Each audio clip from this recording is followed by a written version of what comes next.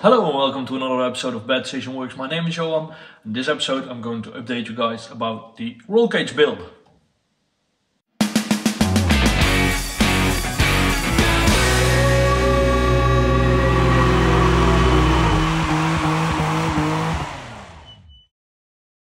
Yeah, so the project's almost done.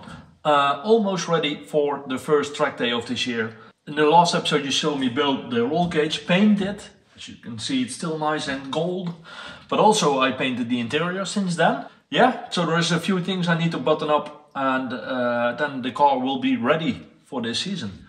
I'm gonna walk around the car now and show you guys what's up and what needs to be done and also what has changed in the past few weeks since I made my last episode. I keep saying Project Roll Cage, but in effect this is just the winter overhaul of this car.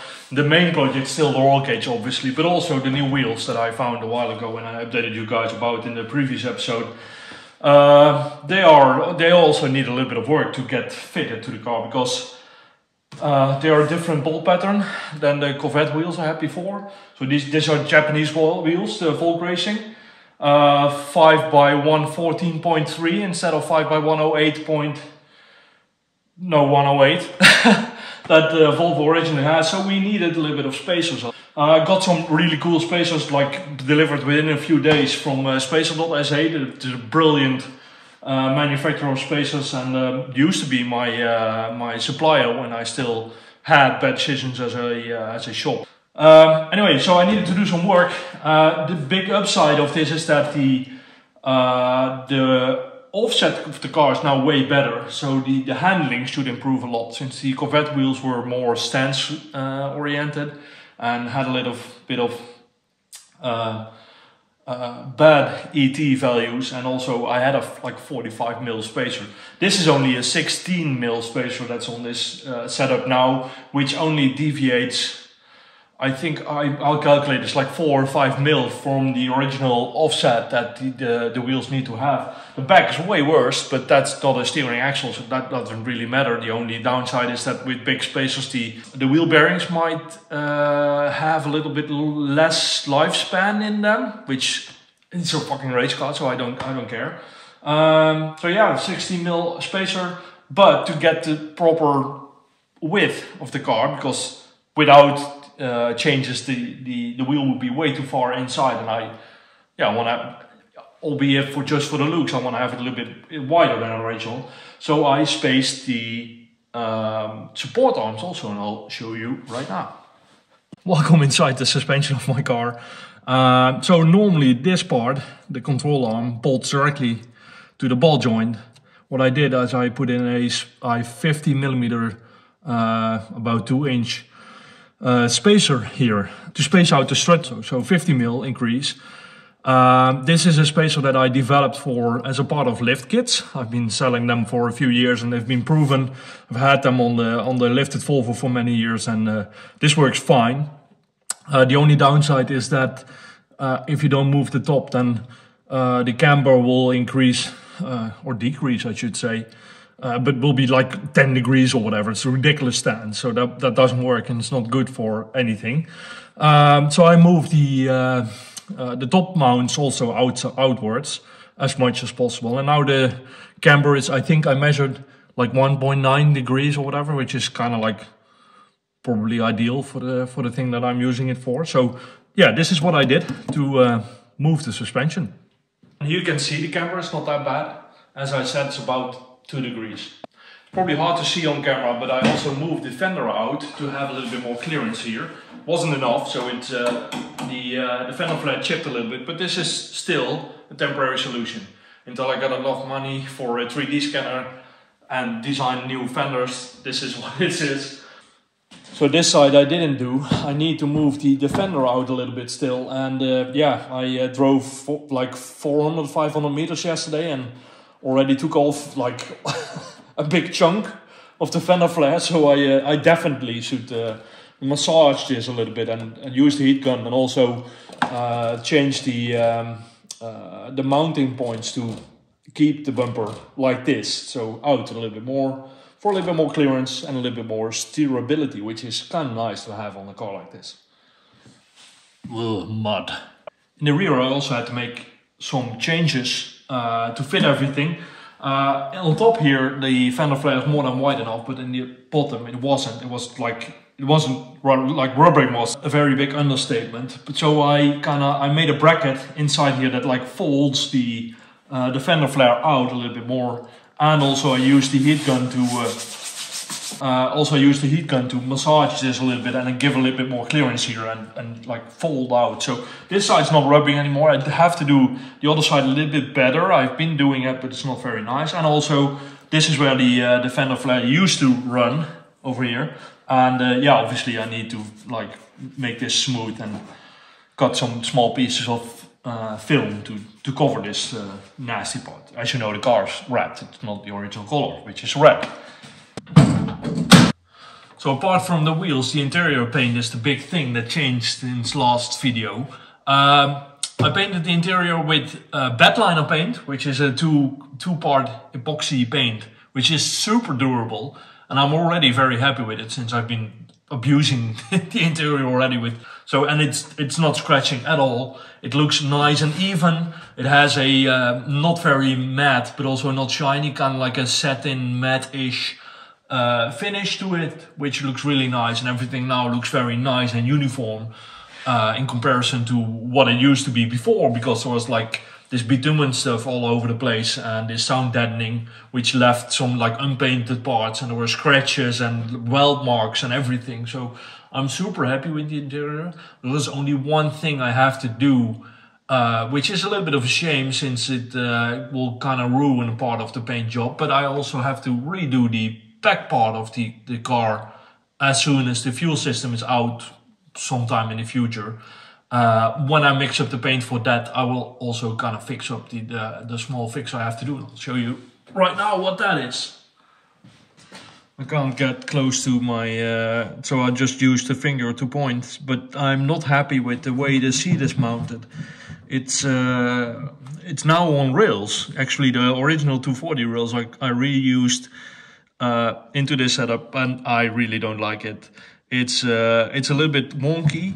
It doesn't really show on, on video, but at least like the fact that I can move the seat is, is not good. So I'm going to remove the rails and also uh, weld in a pipe uh, instead of using the original 240 mounts, which are flexible to say the least. So that's going to be fixed soon. The front mounts are the front mounts are fine, by the way, but the rear mounts that's the, the issue. So uh, cutting, grinding, and welding again. Here you can see another issue. Um, it's kind of hard to see probably through the glare of the window, but it was really hard, uh, kind of undoable to paint this side of the roll cage. All same on the A-pillars. So uh, yeah, that's probably going to be some little bit of brush painting later. Another issue that I had was that I was removing stickers from the car and also from the windows. As you know, before this window was there was this like red stripe and a six and all kinds of brands and donut and Grindhard and whatever. Uh, I removed them and then I wanted to remove all the glue residue. Uh, and I was like, mm, I don't know if thinner and polycarbonate goes go together properly. So I uh, took a test piece, like a leftover from when I cut this window, because it was a rectangle when I got it. Uh, got a rust leftover piece. I put some thinner on it, waited a minute, nothing happened. I um, wiped it away with a dry piece of uh, paper cloth and no problem. So then I walked to the car, put some stuff, uh, put some thinner on it, and immediately it went white and cloudy. And I was like, oh, shit. So now I applied some heat with the heat gun again. It's a lifesaver tool. Um, applied some heat, got a little bit of the whiteness away, but it's super scratched up and it's like still cloudy and it looks like shit and it deformed with the heat. Um, so the only window apart from the from the windscreen, the only window left that's not that's still glass is the rear window. And in two weeks, I'm going to Holland um, and buy a piece of polycarbonate for the rear window, since it's a lot cheaper in Holland as in than compared to Sweden. So I'm also going to buy a new piece for this. copy this form onto the, the new piece and then have a new window, which is nice. Uh, but also sad. It's it's luckily it's only like 40, 45 euros for a piece of polycarbonate this size, uncut. Uh, so it's not that bad, but it's still feels bad to destroy something that's not even a year old. hmm. Anyway, yeah, that's life. Just, that just goes with car building. Well, not per se car building, but more with me. And why am I removing all these stickers from the car? Well, not all of them. The Michel Vaillant livery stays, but like these, these on the side, they will probably be gone. And the reason for that is that I thought each sticker would add 5 horsepower. Uh, the internet promised that it adds 5 horsepower per sticker. I feel a little bit cheated now, but well, so they have to go. This is actually quite nice. Uh, last but not least, I've been talking to a few people on Instagram um, after one of my stories about bigger brakes. And as you can see, this is a brand new brake disc that's mounted in a mill. I'm waiting for some milling action. Um, I did one already, mounted it on the car, added a spacer that I bought from Facebook, uh, from a guy on Facebook, I uh, don't know. Um, and that should just move, move the original caliper out, outwards a little bit. Well, a little bit, quite much, since it's 263 mil on the original brake disc, and this is 320 mil, which is an increase of over 50 mil. Um, the opinions vary a little bit of about if that's going to happen, but at least the car will look a little bit nicer with some bigger brakes. Uh, the original calipers, in my opinion, are more than enough, but having a little bit of a bigger leverage uh, will never hurt, and it looks nice. So I'm going to update the uh, brakes also. I really did wanted to show this in this video, but sadly, as you can see, this brake disc is still in the in the mill, and uh, yeah, it didn't happen. Um, and to explain why, we have to walk to the car again.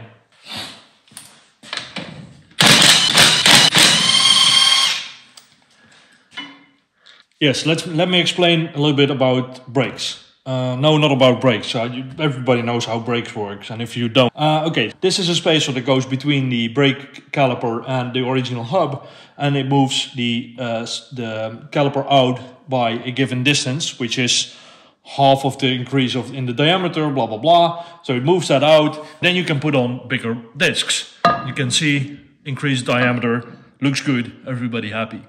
So what you want to have with brakes is that the brake patch engage the brake disc, this is the, the, rusty thing in the middle here, as much as possible. So what happens if you move the, uh, the caliper out and put in a bigger brake disc, the radius of this disc changes. And this caliper has been designed for this 263 mil radius. I'll put a little bit of a um, illustration here in the screen now so you can see what I mean instead of just fingers pointing at things.